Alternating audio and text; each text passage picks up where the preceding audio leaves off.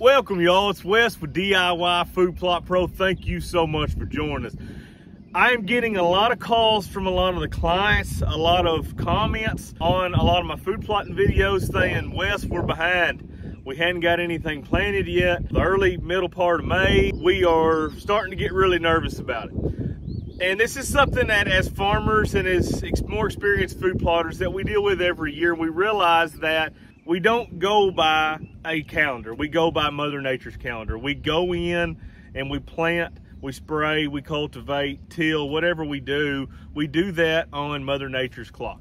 Whenever she allows us to do that is when we go in. I have talked many a times in the past about waiting until the soil properties are right, till the soil is properly dry before going into those farms. But it became clear to me that I had never made a video actually explaining what I meant by that and showing a visual as to what condition the soil needs to be in. How can you physically check your soil to make sure that you're not doing more damage than what you are good. A lot of people try to get in the fields too early with a tiller, with a disc, and they call it a disc it or work the ground to get it to dry.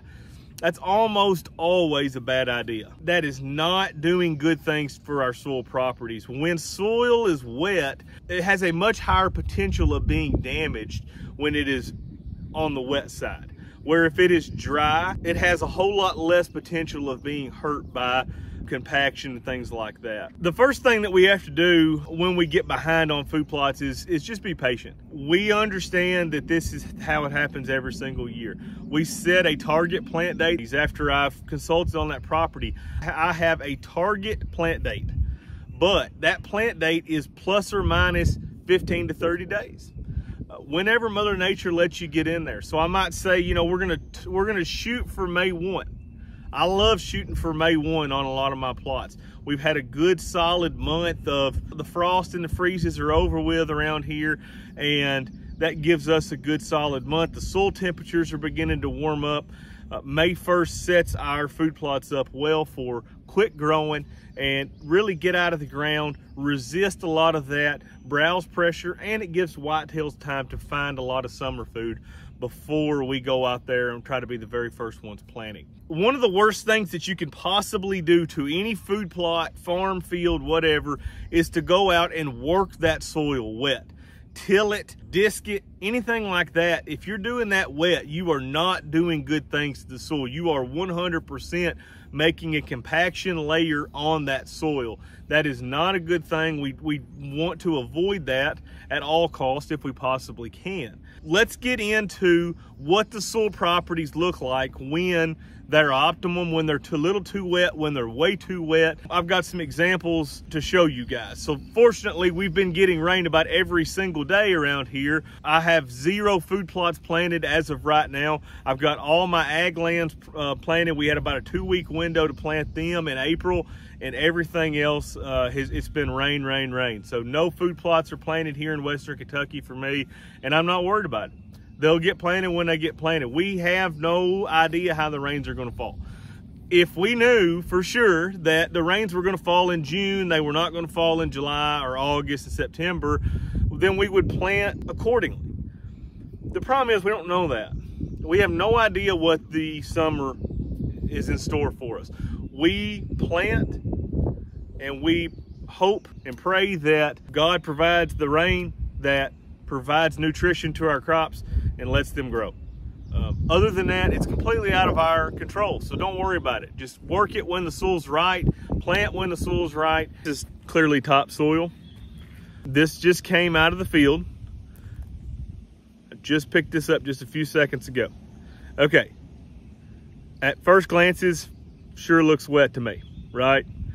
Kind of has a real dark look to it you know, clearly my hands are getting kind of sticky, gumbo-y on it. This is ridge ground, so it shouldn't be sticky at all. Very little clay in this. So let's find out if this is too wet. The way that I like to do this is you crush this up, okay? Look, just crushed into a big solid ball, right? We can form this right in to anything we want to form this into it's wet. You can actually hear the moisture into it. Way too wet. Can do that with it. That's no good. You are not doing good things. Look at all the staining on my hands. Okay. All right, but that was clear. I mean, that was pretty easy for any most anybody to understand that that ground's too wet just by looking at it. Another piece of soil, right? Definitely a different color. Same type of soil, by the way. So now you can see visually the difference, right? That we have much more soil. Let's crush it, see what happens. Still works into a ball. Little bit of partial, little bit of stuff here. For the most part, all still working right into a ball. It's right on, this is right on that edge. This is when a lot of people are gonna fixing to go out there. Still just a little on the wet side. Got some here. This soil is 100% drier, no question about that. Visually, you can see the color difference again. Uh, light brown on this one. And we're gonna try to crush this into a ball. You see all that just falling through my hands? Look, as I crush this more, all it does is break down and that's all that's left. And if I kept crushing, it would just continue. There's not enough moisture to pack it, okay? We're left with this little ball. Watch this. I hope y'all saw the difference there between those three different ones. I have seen a lot of folks, talk to a lot of folks who've gone out when their soil was like that first one, that dark black and tried to till, try to disc. And boy, you, you just don't understand the damage that that can do. You can create an awful lot of damage. We definitely don't want to have like a compaction layer out there and all of a sudden turn a dry land, well-drained soil into a soil that doesn't drain because you compacted it to the point to where moisture can no longer go through it.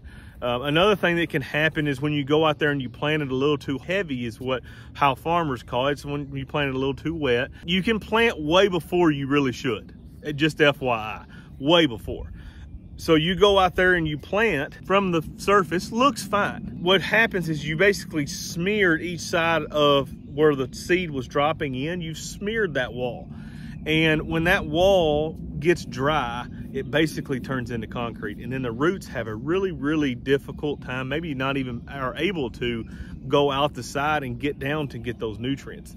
They just physically can't get through that hard layer and they just stay right in that trench. A lot of these things that are, are things that a lot of us don't even think about. When we just go out and we're, we're, we're trying to food plot, we're trying to do good, and then we go out there and we're, we're gonna disc this to dry. I mean, how many times have we all ever heard that? We're gonna go out here and disc it to dry. Golly, that's a bad idea. When we're looking at these samples, we like to go down about as deep as what we're looking at. So if we're looking at planting an inch and a half, that's how deep we want to take that, that sample to see if we can mold that into a ball or if it just kind of breaks apart. It's always going to kind of go into a little bit of a ball. But the, the reality of it, when the soil is right, you should be able to rub it and it basically should just start falling to pieces instead of forming into a mud ball. That's what we're not looking for. We get that mud ball, we're too wet, we need to go to the house and wait another day, day and a half.